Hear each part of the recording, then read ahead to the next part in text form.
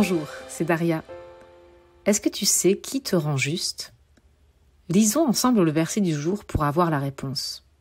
Ouvrons Romains 1, verset 17. En effet, la bonne nouvelle montre ceci. Dieu reconnaît les êtres humains comme justes quand ils croient en lui, et cette foi suffit. Oui, dans les livres saints, on lit Celui qui croit en Dieu est juste, et ainsi il aura la vie.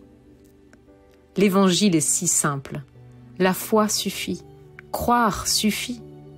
Dieu nous reconnaît comme justes lorsqu'on croit en lui. Et Paul précise que cette foi suffit. Quand Paul parle des livres saints, il parle de l'Ancien Testament et il va confirmer ses écrits. Nous sommes justes car justifiés par Jésus. Nous ne sommes pas justes parce que nous faisons de bonnes actions ou parce que nous avons été sympas avec un tel ou un tel.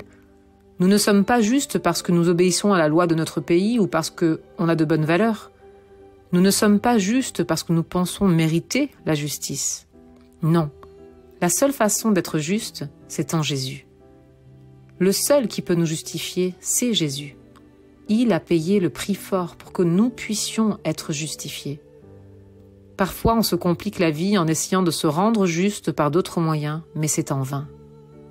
La foi te suffit Croire en Dieu te suffit, mais pas seulement croire qu'il existe, puisque les démons le croient aussi, comme on peut lire en Jacques 2, verset 19. Tu crois qu'il y a un seul Dieu, tu fais bien. Les démons le croient aussi, et ils tremblent. Là, on parle plutôt de la foi comme une croyance qu'il est le Dieu Tout-Puissant, et surtout croire qu'il est le Seigneur de nos vies et que rien ne l'égale.